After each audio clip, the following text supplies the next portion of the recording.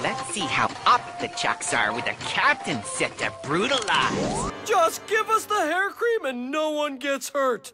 Yeah, except for you two, who will hurt after you give us the hair cream.